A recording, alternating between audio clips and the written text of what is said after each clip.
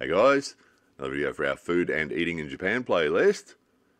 Off to a little izakaya for a spot of dinner and maybe an ale.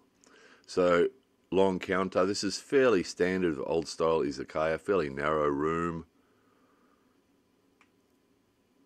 Tap beer, nama biru, kirin, nama biru. Quite tasty, big frosty glass. Pretty decent head on the top. That's quite popular in Japan, the big head. There's the menu. So it's about a dollar thirty for one stick with meat, lamb or chicken or beef, as you will see. So pretty good value izakaya. And they start you usually with something like this. That's a cold chicken salad.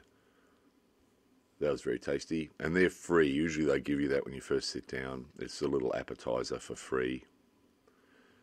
And then we got chicken with uh, tamanagi, tamana, tamanagi, tamanegi, little vegetable on there. On some sauce, very tasty, and some meatballs.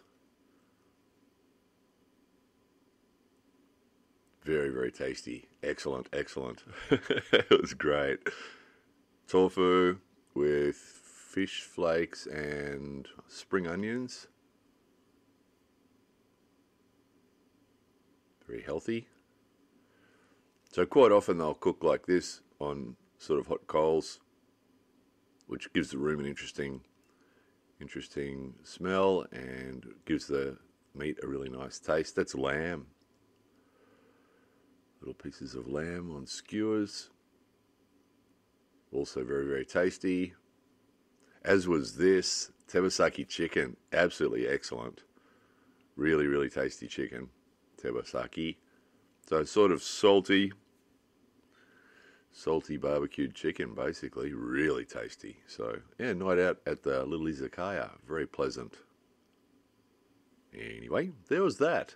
More videos coming soon.